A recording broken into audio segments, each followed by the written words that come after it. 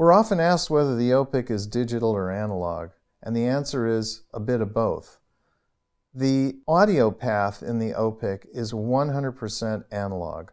Everything from the sensors themselves, how they detect the string motion, the amplifiers inside, all the electronic filters inside, all the way to the output jack, everything is 100% analog.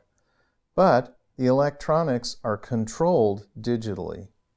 So you might wonder, how does that work? And there's a lot of examples of that in our everyday life.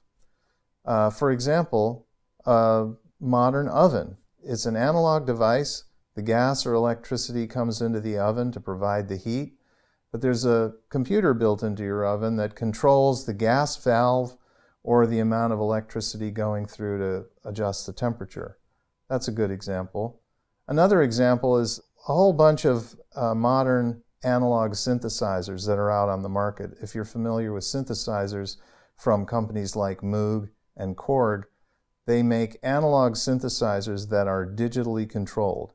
So again, in, in a device like that, the audio path is 100% analog, but you can program sounds, you can adjust the settings. You can think of it like having a robot to turn the knobs for you.